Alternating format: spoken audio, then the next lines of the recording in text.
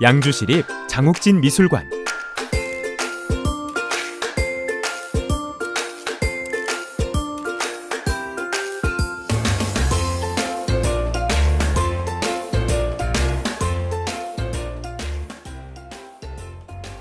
양주시립 장욱진 미술관은 양주시 장흥 관광단지에 위치해 있으며 한국 근현대 미술을 대표하는 장욱진의 업적과 정신을 기려서 만들어진 곳입니다.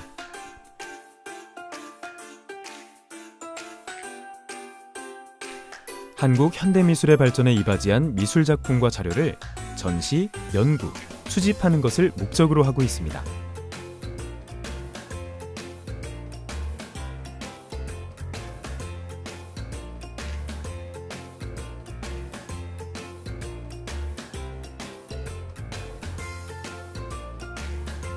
야외에 설치된 조각공원은 주변의 경관과 함께 아름답게 어우러져 있습니다.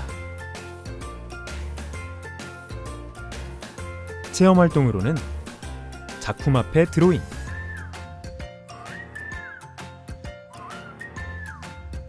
나도 도슨트,